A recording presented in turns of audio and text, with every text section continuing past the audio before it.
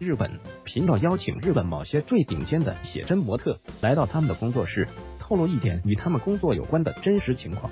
每位写真模特都被要求拿着一张描述的他们现实生活的纸板，在镜头前摆出相应姿势进行拍照。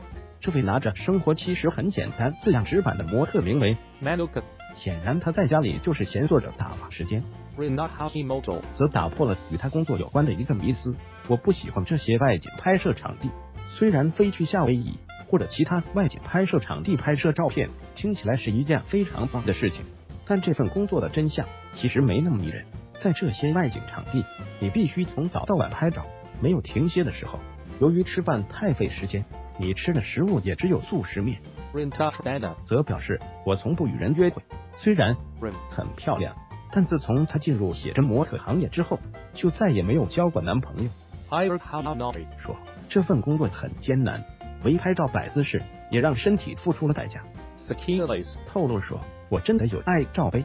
人们一般认为写真模特会对他们隐瞒他们那重要的胸部尺寸，然而 Sophie 说她的胸其实真的有那么大，Hiker Uaunama 则表示我喜欢宅在家里，他在家里放松自己，这就是他打发时间的方式了。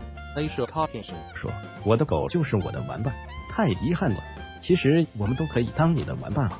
最后 Amaki 写道，这份工作让人并不舒服。他的意思是，他这样长期为拍照摆姿势，导致他的身体到处痛。更重要的是，赚的钱也不多。人们对写真最大的误解是，写真模特只要穿着比基尼拍照就能变得富有，但事实并非如此。如果你能为品牌代言，出现在电视里或者出演某些角色，那么你或许能赚到可观的薪水，但你的薪水还要奉献给代理，他们拿走了大部分金钱。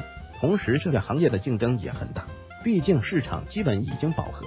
这些写真模特只能在一些比赛，比如赛车或者拳击中露面，这与时尚模特相去甚远。